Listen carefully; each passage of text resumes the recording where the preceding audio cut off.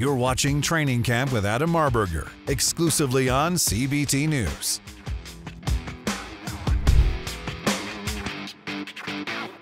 Adam Marburger here. Welcome to Training Camp. It's a beautiful day to help a dealer enhance their F&I operations, and I'm here to do just that. I want to share a technique with you today that's going to help you sell more service contracts. Let me make a statement.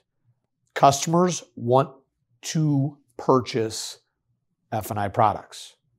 I'm going to say that one more time. Customers want to purchase F&I products. They do not want to be sold F&I products. Some of the best practices of the 90s, they don't quite work today. So I challenge you today to take what I'm about to share with you and put it into practice immediately. I'm going to talk a little bit about pattern interruptions. See, consumers make decisions based on their previous experience. I'll give you an example.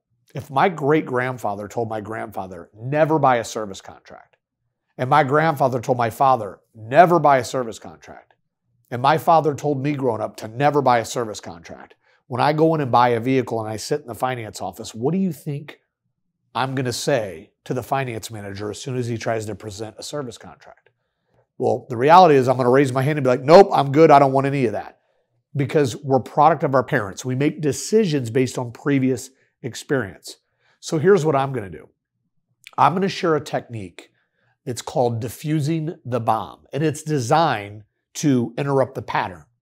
So it goes a little something like this Mr. and Mrs. Customer, I'm about to go over a couple of options with you, and these options are designed to enhance and complement your ownership experience. The last thing I'm going to do is sit here and try to sell you a bunch of stuff you don't need. We don't do that here. And I'm going to go right into it. So, what I've done is this I basically explained to my customer that I'm not going to sit here and try to sell you a bunch of stuff you don't need. But the reality is, I am going to present options. See, customers like options. And if there were no finance people or salespeople in a room and we had a menu printed out and we handed that menu in front of the consumer and they looked on their own time, they're going to pick options because customers like to pick options and they want to be protected. They just don't need somebody on the other side of the desk pushing and, and selling based on their agenda and not on the customer's agenda. So I challenge you to do this. Let's get our F&I people trained as we present our menu to have a very laid back approach.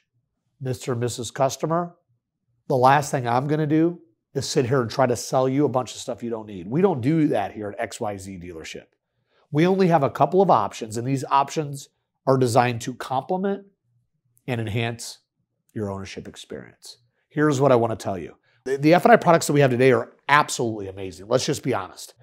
The products have evolved to where they provide a massive amount of value.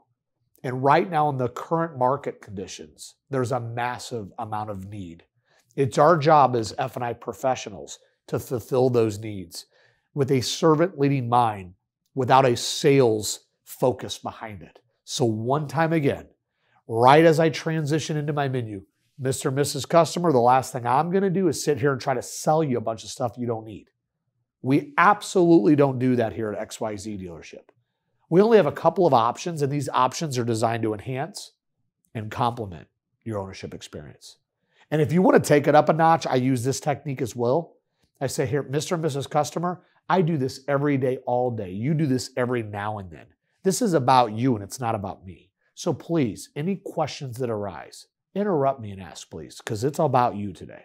I'm here to serve. I hope you found some value in that. We need to slow down a little bit so we can speed the transaction up. Remember, people want to purchase F&I products. They just don't want to be sold F&I products. And the products that we have today provide so much value in the current economic environment that we're in with inflation at an all-time high with interest rates where they are it's critical that we budget for a service contract.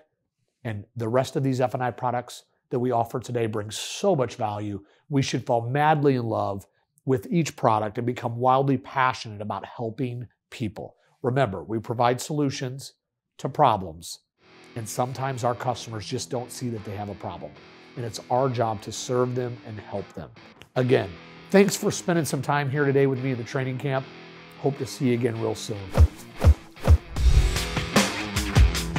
Thanks for watching Training Camp with Adam Marburger, exclusively on CBT News.